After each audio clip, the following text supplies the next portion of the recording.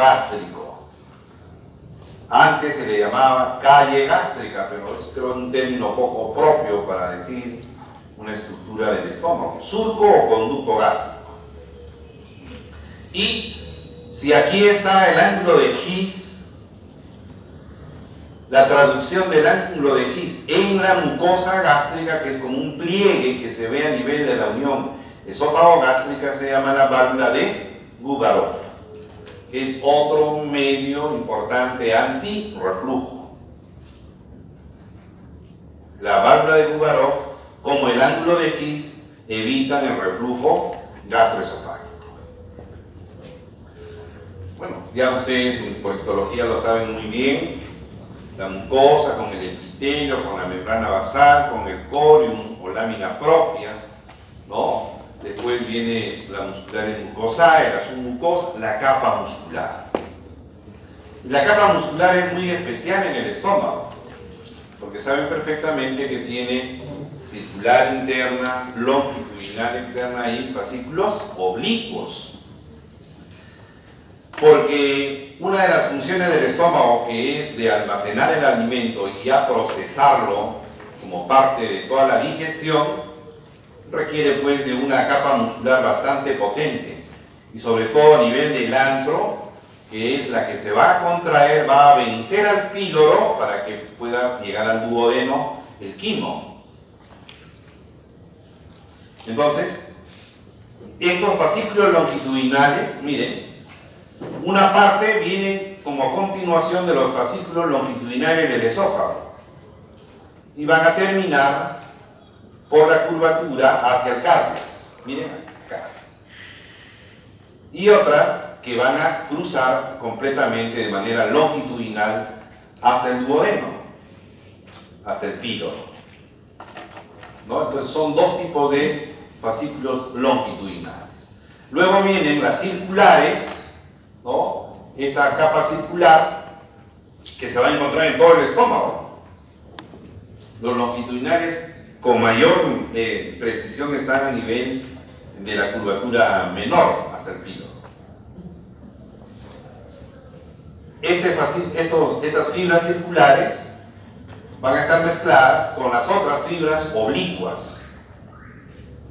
Entonces, eh, la disposición de estas fibras van a permitir una fuerza importante en la contracción del estómago para vencer al píloro y así continuar la digestión. ¿Qué arterias tiene el estómago? Recuerden esto, por favor, se les va a hacer fácil. Dos arterias en la curvatura menor, tres arterias en la curvatura mayor. Dos en la menor, tres en la mayor. Las que están en la curvatura menor se llaman arterias gástricas. Uno a la derecha y otro a la izquierda. Esta, miren, este es el tronco celíaco desde la aorta.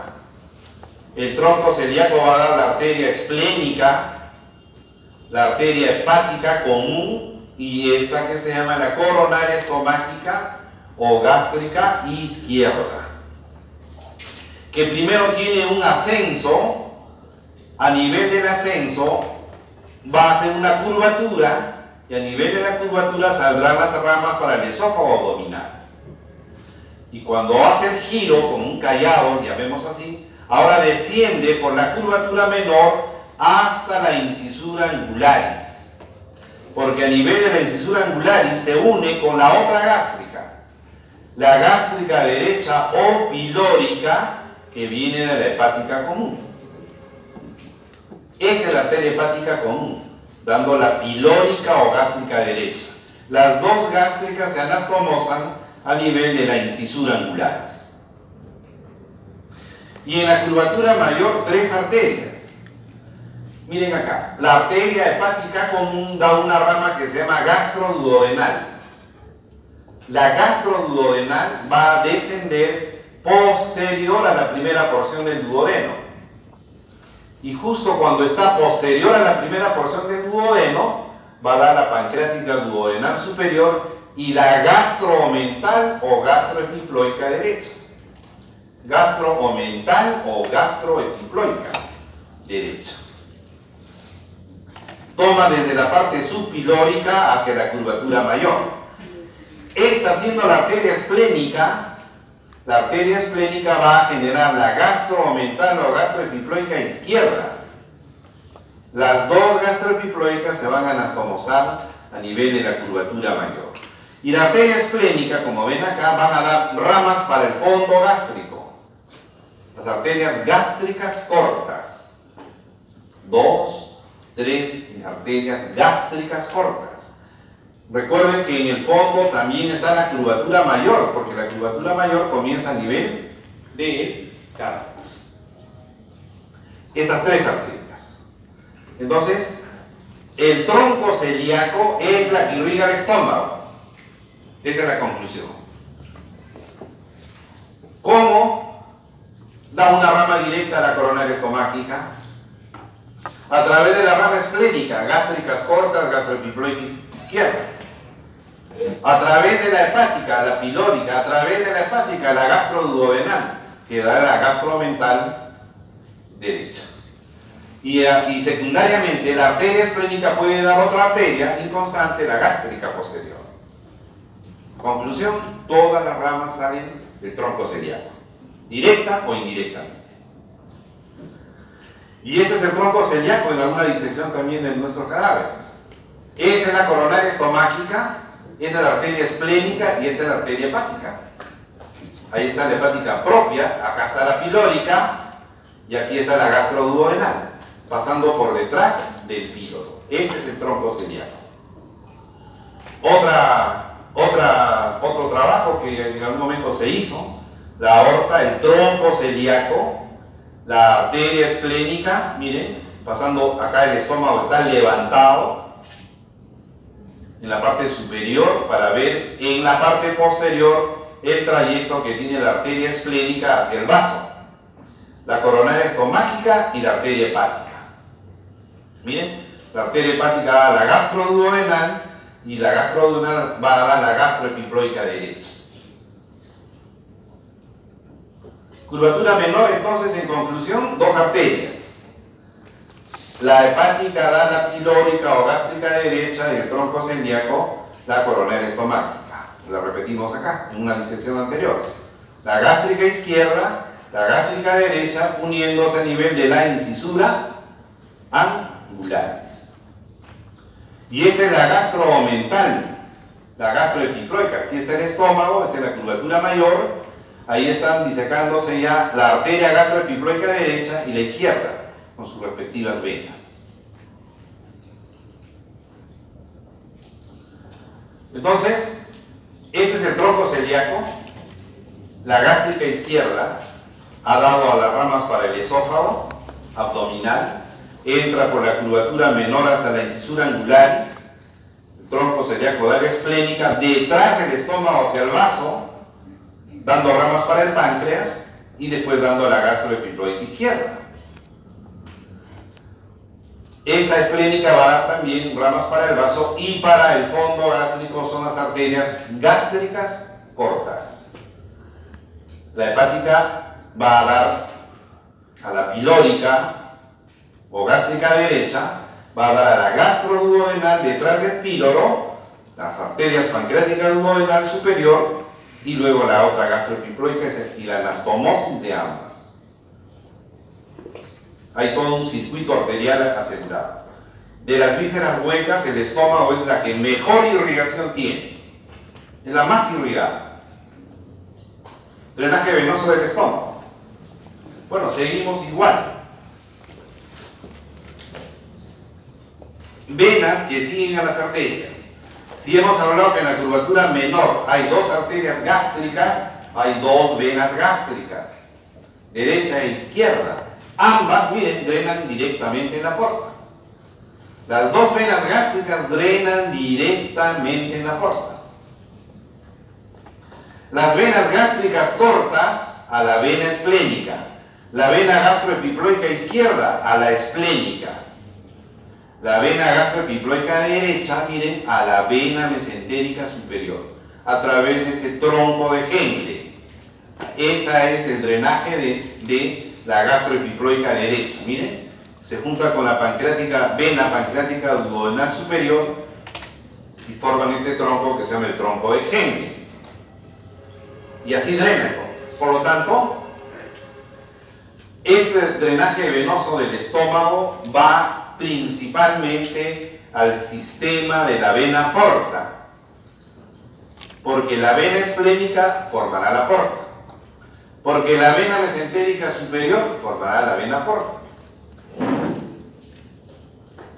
Pero el drenaje venoso también de la parte del fondo y parte del cuerpo va al sistema ácidos.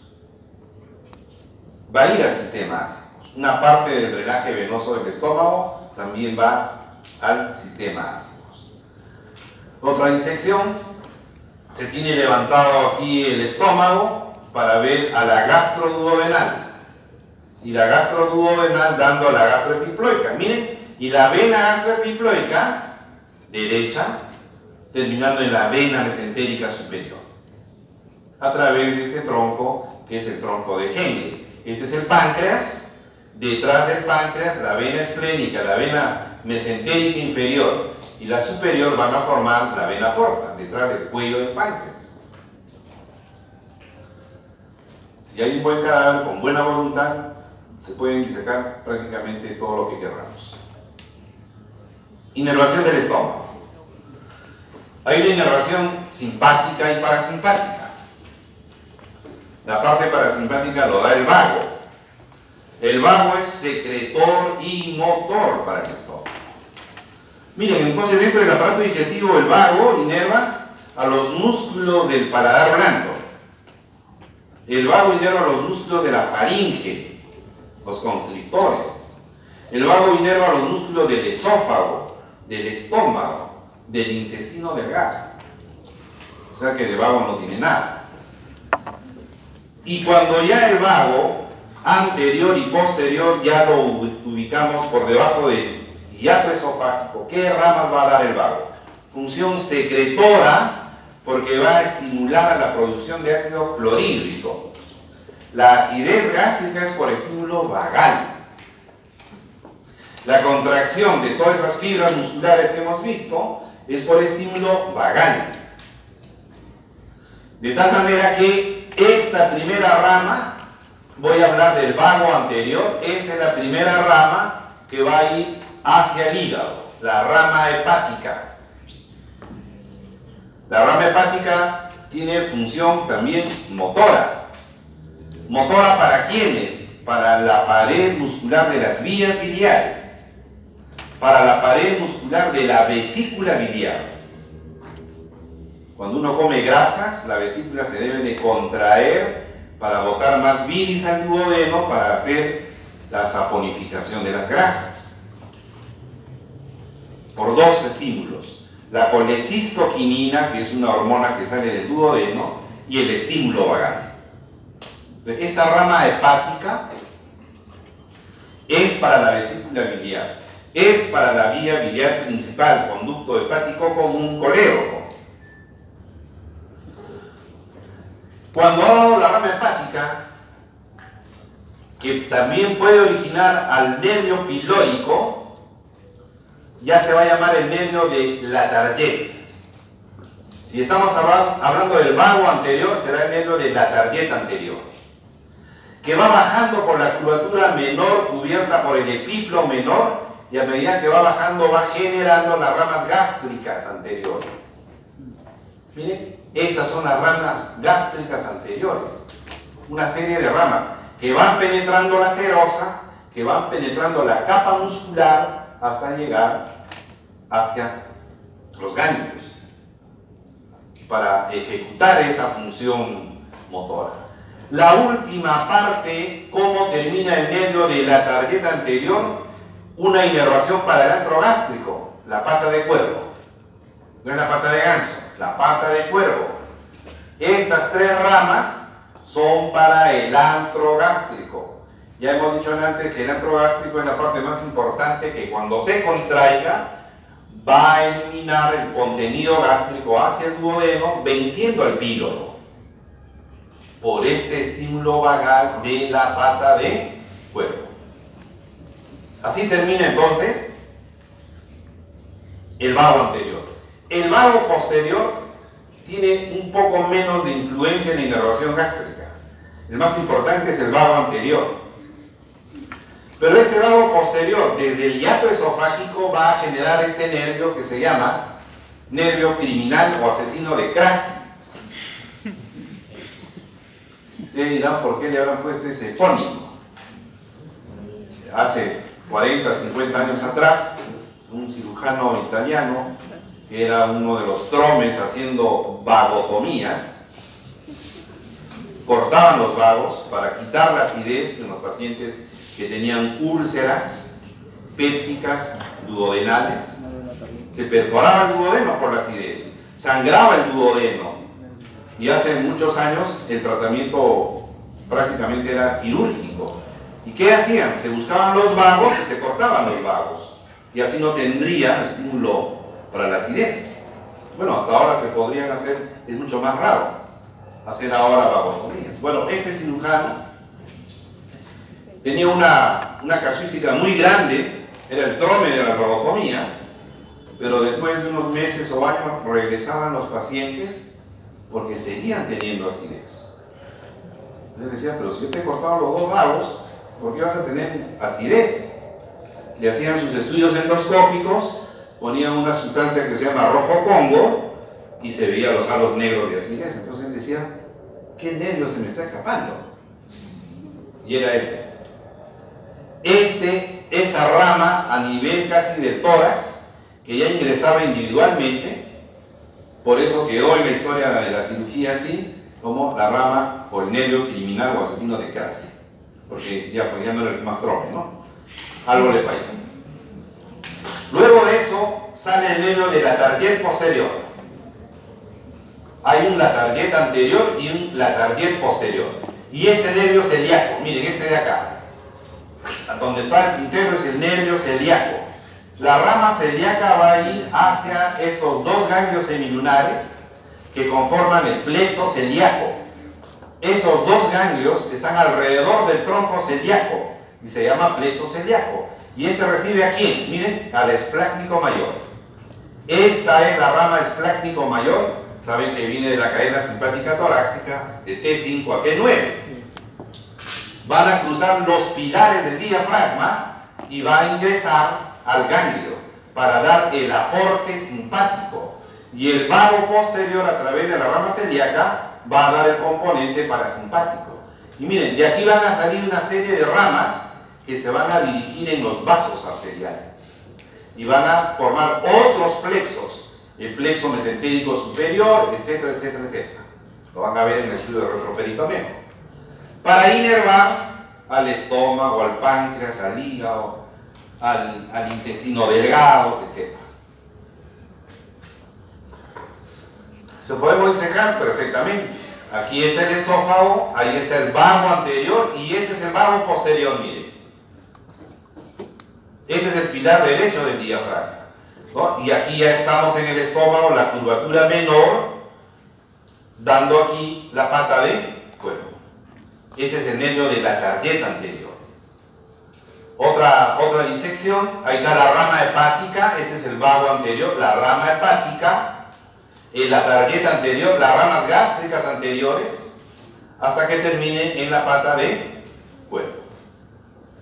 Esta es la inervación simpática, ¿no? Ya hemos dicho, eh, el, el, nervio esplácnico mayor va a terminar en estos ganglios semilunares, que son los ganglios que van a conformar el plexo celíaco.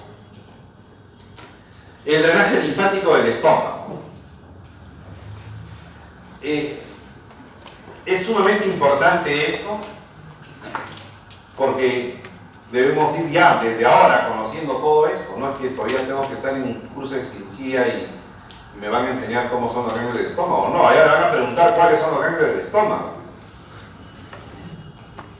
Por eso que ciencias básicas se debe ya de echar todos estos conceptos. No es que sea algo que lo van a ver en cirugía. No, de ninguna manera. Los ganglios este, este drenaje linfático del estómago van a terminar en los ganglios, con el mismo concepto que les estoy dando. ¿Para qué quieren ustedes saber los ganglios? Para las enfermedades neoplásicas. El cáncer de estómago es el segundo cáncer en el Perú.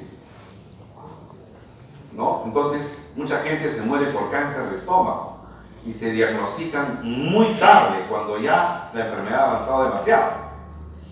Y cuando se detecta a tiempo, se saca parte del estómago o todo el estómago y se debe hacer la disección ganglionar.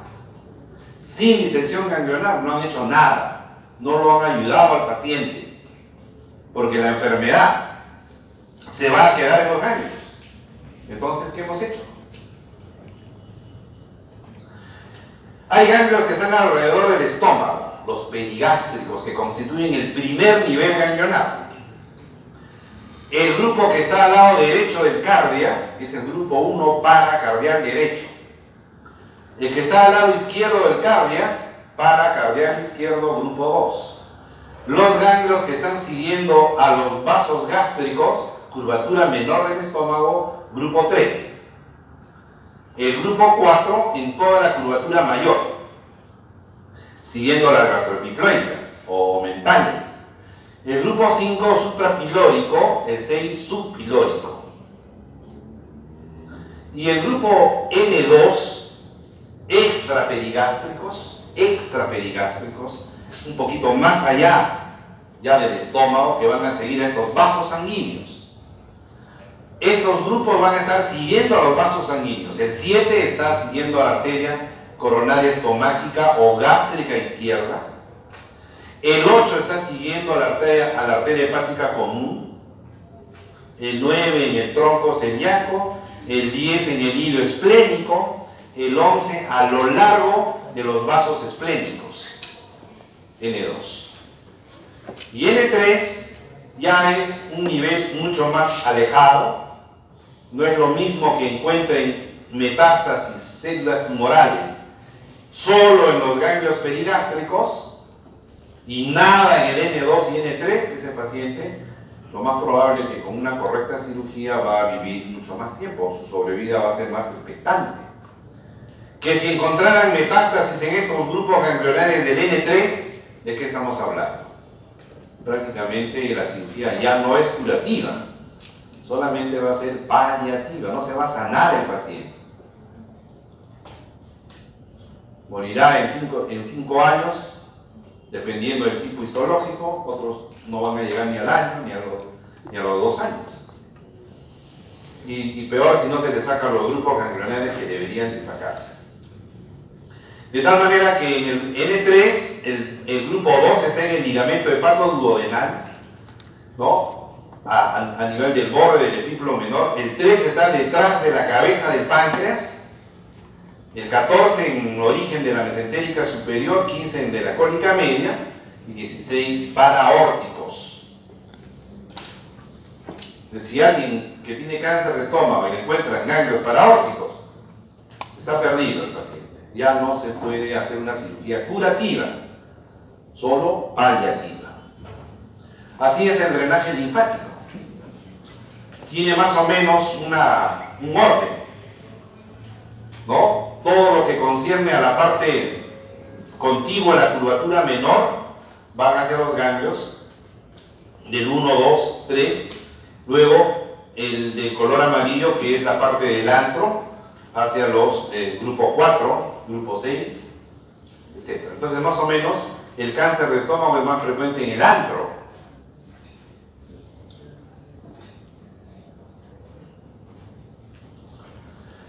¿Qué relaciones tiene el estómago?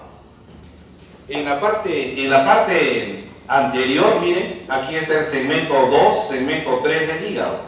Si quieren, el lóbulo izquierdo del hígado, cubriendo parcialmente al estómago, pero está en la cara anterior, apoyado en la cara anterior. Ya les hablé antes del espacio de Traube y el triángulo de la B para el antro y el espacio de Traube para el fondo gástrico.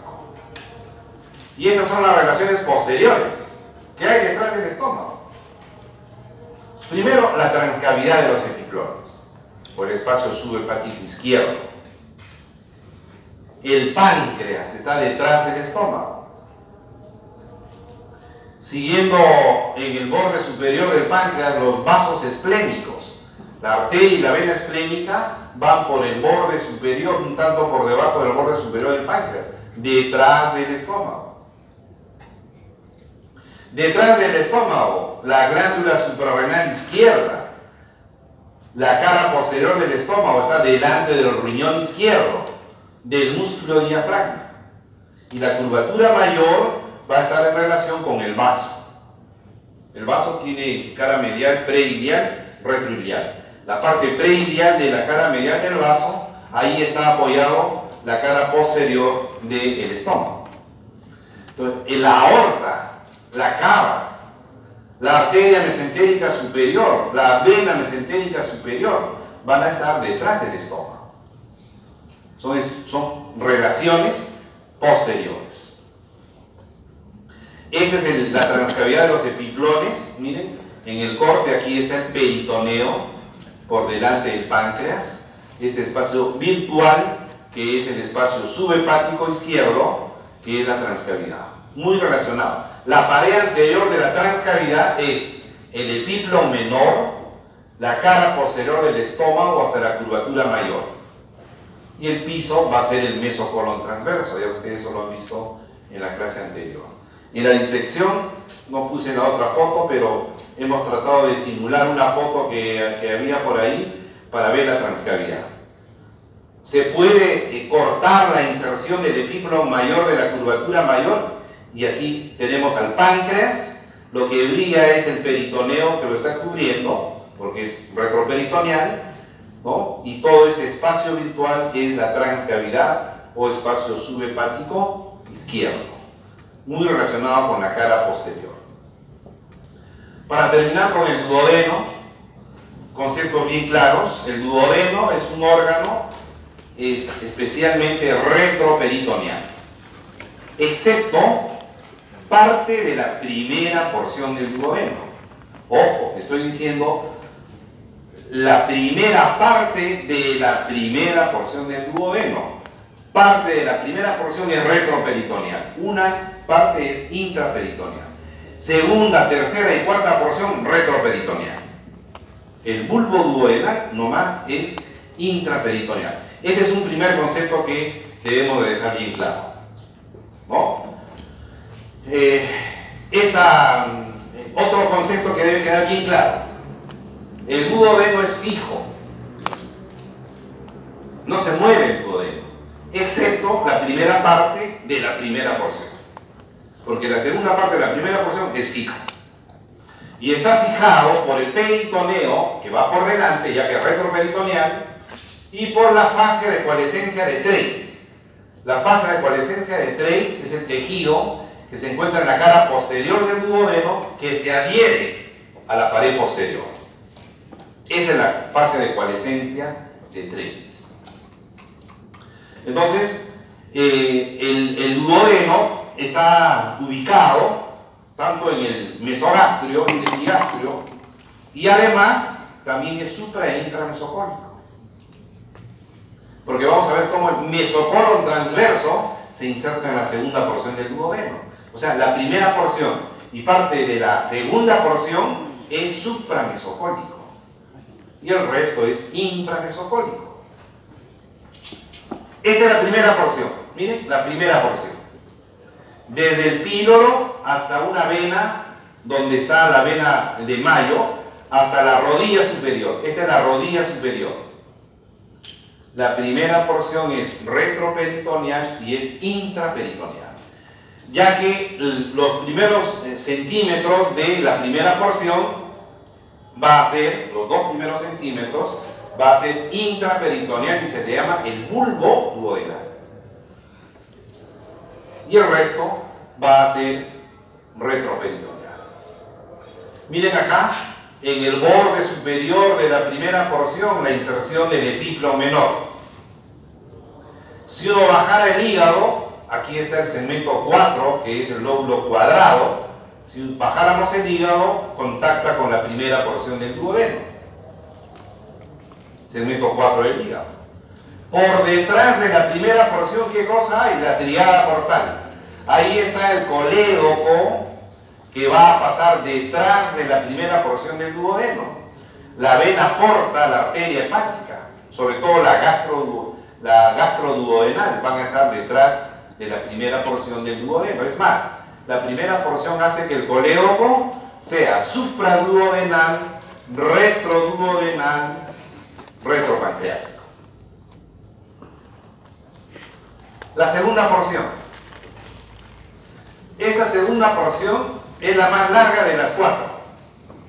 Mide un promedio de 10 centímetros. Tiene sentido vertical. Va de rodilla superior a rodilla inferior. Y esta está totalmente retroperitoneal. Esta tiene una porción supramesocólica e inframesocólica. Y lo más interesante de la segunda porción son dos cosas es que por su borde medial hace unidad con la cabeza del páncreas. Es una sola unidad porque comparten la irrigación. Y en su borde medial, posteromedial, ahí está la desembocadura del conducto colédoco y el conducto principal, que es el conducto de Wilson del páncreas, y el conducto de Santorini, que es el secundario, también hacia el borde medial, en la parte superior. ¿Dónde va a terminar? En la papila mayor, ¿no? Esta, si, si, tomamos algo más grande aquí para poder ver la papila duodenal, la mayor, ahí está, la ampolla de Bayer. El colédoco y el Wilson suelen juntarse y de manera común van a terminar en el duodeno, llegando así la bilis al duodeno, el jugo pancreático al duodeno, segunda porción para hacer la saponificación por parte de la bilis y todo el jugo pancreático para ya hacer el metabolismo de, eh, todo lo que uno ha comido. Esta ampolla de Bactrio tiene al esfínter de Odi, el colédoco tiene su propio esfínter, coledociano, y el Wilson que tiene su propio esfínter también. Ya verán la gran importancia de esto también en las enfermedades que lo van a estudiar en el futuro. Estas son las relaciones posteriores ¿no? del duodeno. Como es fijo, miren, acá se ha cortado el peritoneo y se ha disecado la fase de coalescencia de Trace, que es la que va a unir al borde medial del riñón derecho, al pedículo renal derecho y a la vena cava inferior. El hecho de que uno movilice el duodeno se llama maniobra de Kocher o de Kocher y así podemos ver la cara posterior del páncreas, el colédoco, la vena cava, el riñón derecho, pedículo renal derecho. Esas son las relaciones posteriores.